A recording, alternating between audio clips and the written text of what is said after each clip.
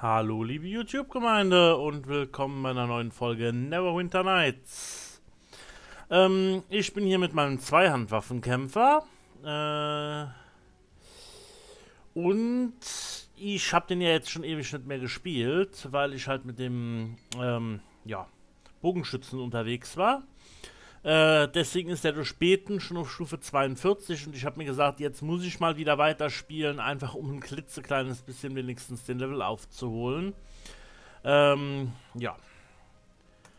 Der Schlachtenmeister der Herrschaft kontrolliert den Zugang Ja, ja, okay. Wir haben neue Aufgaben und neue Vorwildpfade und so weiter und so fort. Äh, der neue Vorbildpfad für den, ähm, Zweihandwaffenkämpfer ist der eiserne Vorkämpfer.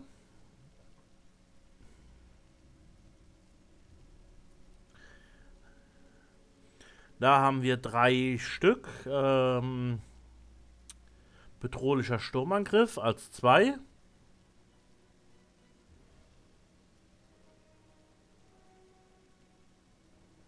Markiert werden. Aha.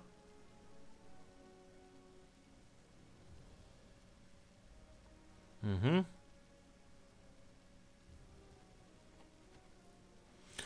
Ja. Also es ist sehr, wie soll man es sagen, eher wohl für verteidigende äh, Sachen gedacht. Ähm, der Schaden liegt bei 900 und 1700. Wie viel sieht es hier aus?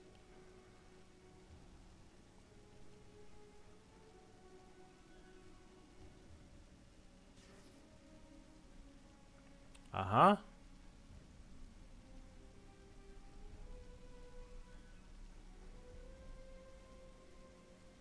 Aha.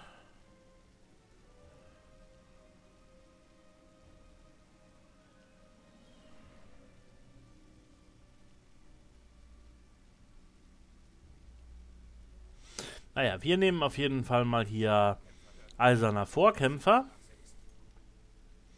Das ist einfach, weil das ist halt der neue Pfad und den nehmen wir jetzt einfach mal. so.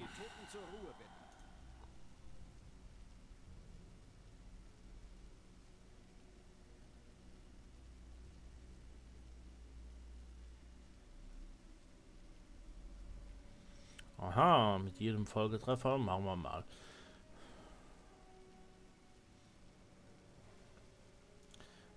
So, die Wahrscheinlichkeit im Endeffekt äh, äh, auf kritische Treffer wird um 1,5 erhöht. Jedes Mal, wenn man ihn trifft. Das heißt dann 3% und 4,5 und durch Rang 2 bekommt man 5, äh, ne, 4,5, 5, 5, 6%, 7,5 müsste es dann nachher sein. Naja. So, Schrei, der war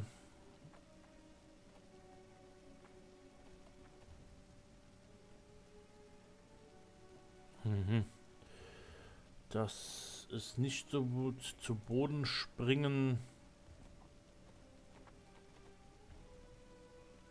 Mhm. Äh, auf jeden Fall mal hier meinen Schlag. Den habe ich schon hoch. Mein Rundrumwirbeln, das benutze ich ja auch sehr gut. Das hier ist auf jeden Fall sehr gut. Der Ulti bin ich mir noch nicht sicher. Hm, das zu Boden schmittern, das Leben, das rundum schlagen.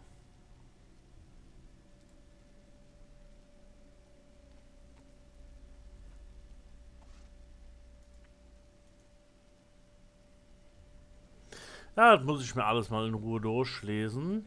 Genauso die Talente und so weiter, damit ich da nichts falsch mache. Ähm, so. Attributwerte, ja.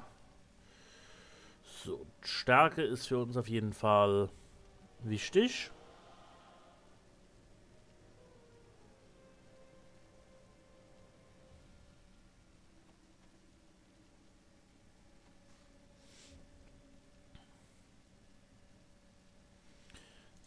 Das das. Und dann kann es weitergehen, würde ich mal sagen. Gucken wir mal kurz ins Inventar. Nach so langer Zeit habe ich ziemlich viel Scheiße angesammelt, muss man ja feststellen. Ähm, die wir erstmal loswerden müssen. Wir haben ja schließlicherweise Stufe äh, 20 erreicht. Also äh, mit ähm, Schneidern. Dementsprechend viele geschneiderte Höslein habe ich im Inventar. Die ich nicht brauchen kann.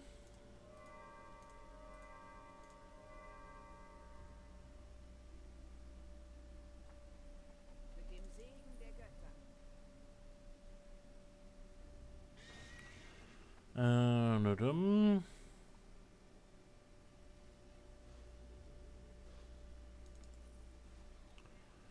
Das kommt weg. Äh, identifizieren, verkaufen. Verkaufen, verkaufen.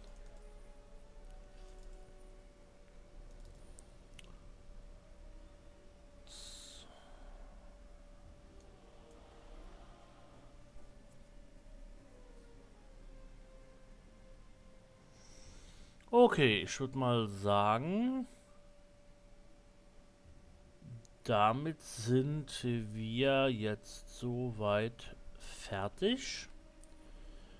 Ähm, wir machen noch kurz, hier legen unsere zwei Sachen an. So, zwei neue Sachen angelegt und der Rest ist relativ uninteressant für uns jetzt erstmal. Gut. Hier vorne war noch ein Quest, ja war ein Questgeber gewesen. Der ist wohl nicht mehr da. Ich glaube, da bin ich auch zu hoch äh, im Level. Dann gucken wir mal, wenn ich sieben Level über dem bin, was die Monster hier haben, dann greifen die mich auch nicht mehr an. Das heißt, dann kann man hier einfach so durchmarschieren. Ohne groß was zu machen, äh, oder beziehungsweise ohne groß da, ähm, ja, dass die einem in die Quere kommen. 36, ne, ist noch nicht so weit, Gott sei Dank.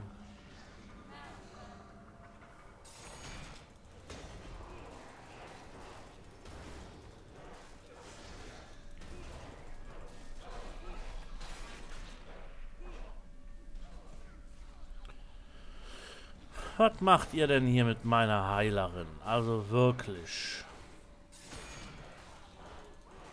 Meine Heilerin. Lasst ja in Ruhe. So.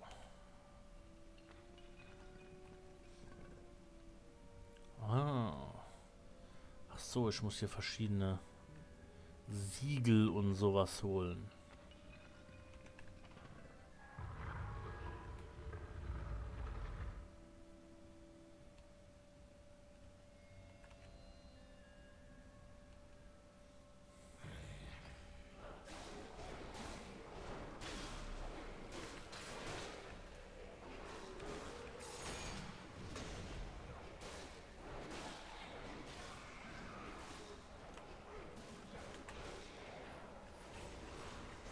Ich mag die Dicken hier nicht.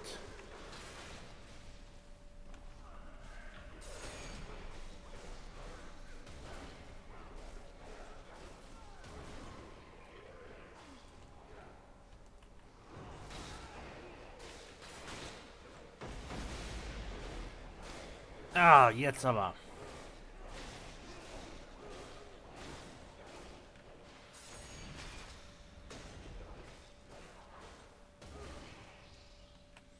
Na also, das geht doch. So, okay, das, das, das.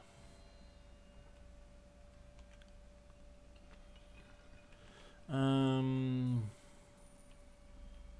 was haben wir hier? Ein Feuerchen zum Anmachen, ne? Oh, das war ein schönes Feuer. Wir gucken mal kurz. Wir haben ja auch noch hier. Die müssen wir zuerst verbrauchen. Okay, die nehmen nur Platz weg.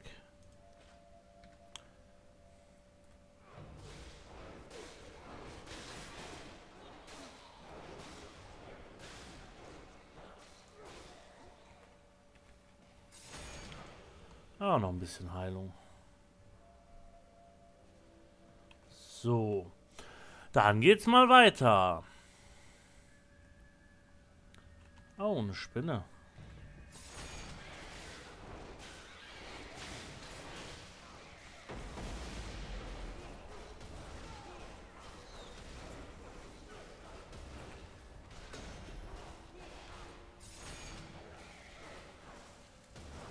Eine dicke, dicke, fette Spinne. Eieiei.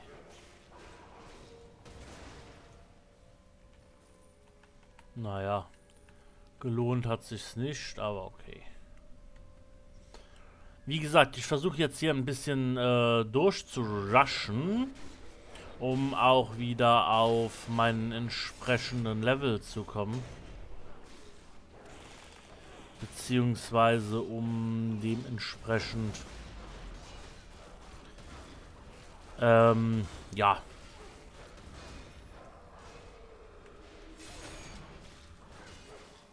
um halt entsprechendes aufzuholen. Durch das Beten kriegt man meines Erachtens nach viel zu viele Erfahrungspunkte. Man sollte da fast gar keine bekommen, wenn überhaupt. Weil das einem irgendwie... Äh, man braucht halt einfach nicht zu spielen.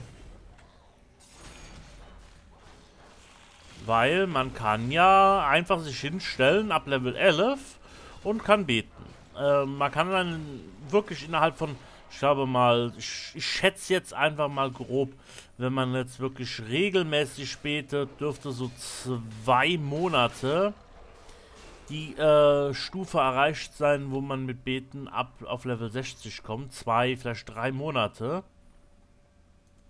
Das geht also eigentlich so recht zügig nebenbei. Ähm,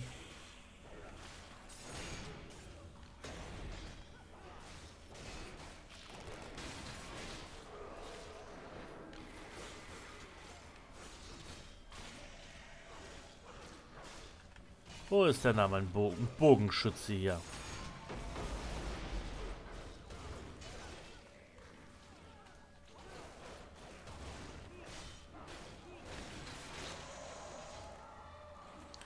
Ich mag doch keine Bogenschützen, die mich anwichsen hier, also ehrlich. Oh Mann, ey, wie viel sind denn hier?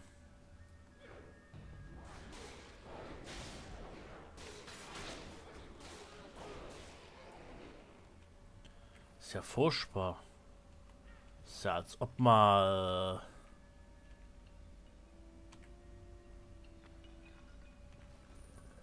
Pest an, an sich hätte, ey.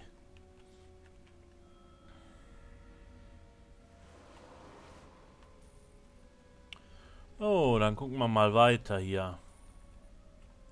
Ah, da hinten war noch was. Meistens sind sie so in diesen versteckten Ecken. Immer mal gucken.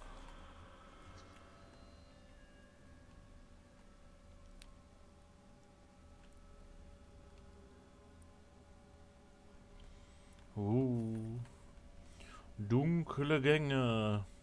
Wir sind jetzt natürlich auch dementsprechend schlecht ausgerüstet für unseren Level, aber halt eben nicht hier für dieses Gebiet.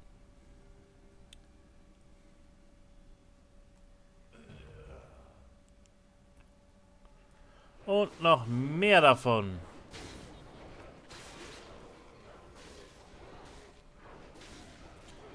Da ist der wirklich praktisch hier mit seinem Rundumschlag. Macht er eigentlich recht viel Schaden. So Monstergruppen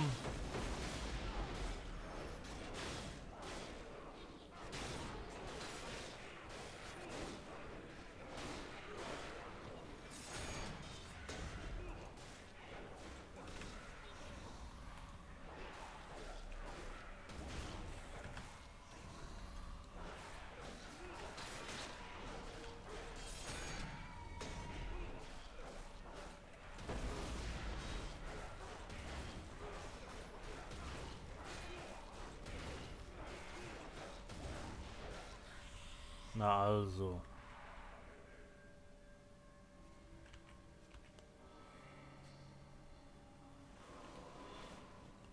Den haben wir auch. Äh, gucken wir uns mal hier noch ein bisschen um. Da ist nämlich noch eine Kiste.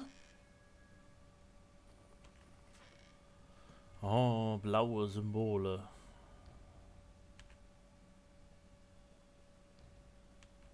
Na komm. Wunderbar. Oh, nicht schon wieder.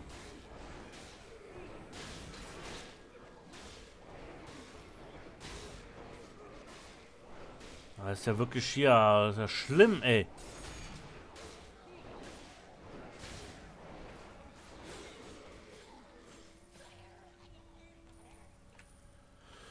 Hier sind ja echt, das ist ja sehr abartig, was hier Monster rumfliegen. Kann ich mich gar nicht erinnern, dass das so extrem war hier mit dem Magier. Oder mit dem Dieb.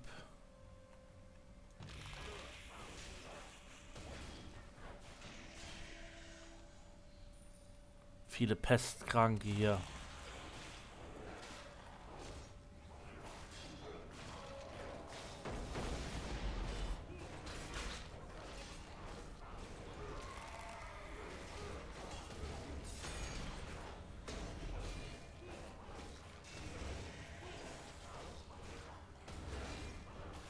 Alte, komm mal da aus den Fallen raus. Ich die ganze Zeit hier eine Pfeile in die Fresse.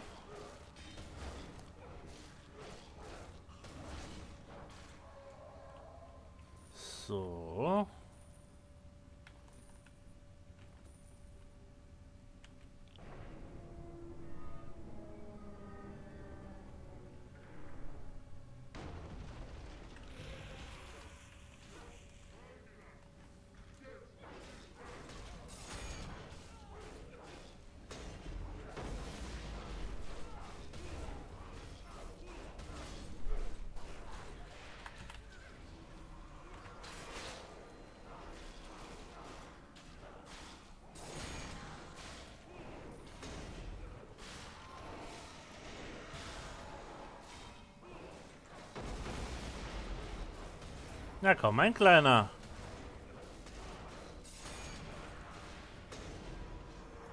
Oh, jetzt habe ich ihm, glaube ich, den Kopf, Genick gebrochen. Dem armen kleinen Kämpferlein. Böser, böser Untoter. Ich hoffe doch mal, dass es untot war. ähm, ja, so. Ich glaube, da gehen wir mal hier außen rum erstmal, ne? Äh, ah, da hinten geht auch eine Treppe runter. Wunderbar. Ah, au, au, au. So, was haben wir jetzt hier noch?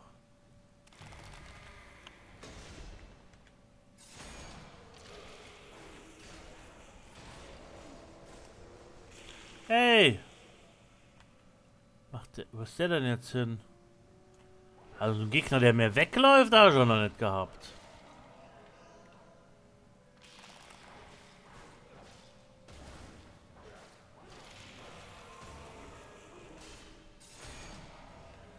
Ist denn jetzt hin?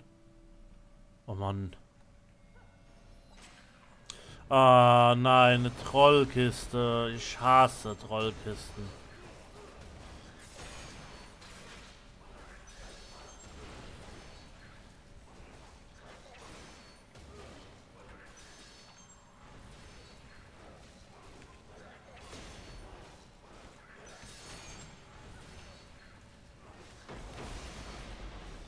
Ich hasse sie so abgrundtief, das glaubt mir keiner, ey.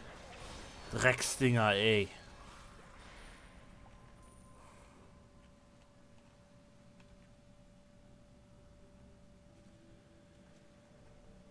So, noch ein Feuerchen anmachen. Oh, wunderbar. Gucken wir mal, wo der hingelatscht ist. Der böse Gegner. Aber auf dem Weg werde ich bestimmt wieder 3000 Untoten begegnen. Jetzt scheint der Dungeon hier so anzuhaben, ne?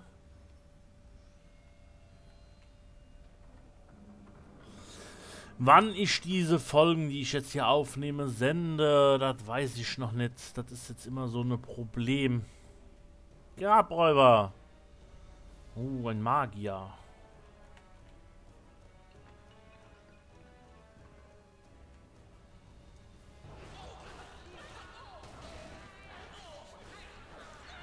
Ach, das ist ein Endgegner.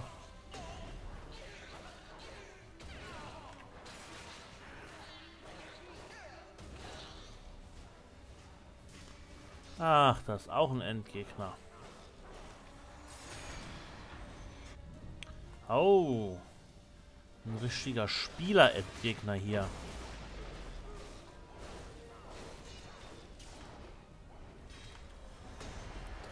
Nee, nee, nochmal falle ich darauf nicht rein hier. Ich hab selber einen Magier. Ah, und das war auch schon. Dahin warst du. Jetzt du noch. Kannst dich auch nicht vor mir verstecken. Oh, der da trinkt Heiltränke.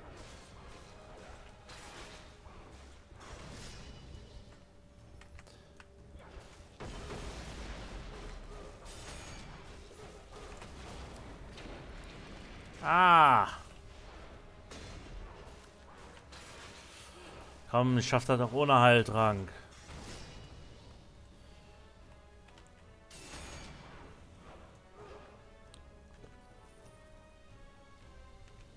Wusste ich doch, dass ich keinen Heiltrank brauche.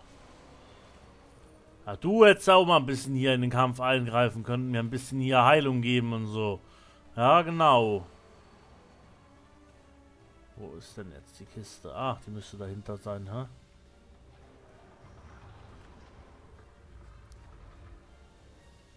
Da ist sie ja. Oh, ist ja nicht wahr. Ja, ernst, ey, oder was hier?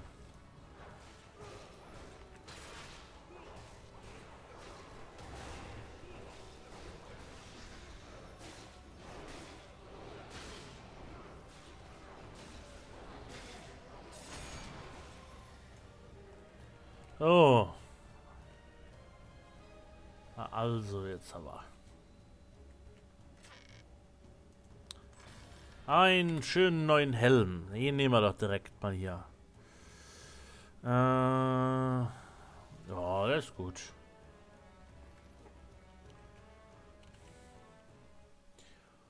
Gut, 22 Minuten sind rum. Das war ein relativ langes Gewölbe, muss ich sagen. Ich äh, melde mich nächste Folge wieder. Wenn wir dann schnell weiterreiten, um unser, ja, weiterzukommen. Bis dann. Tschüss.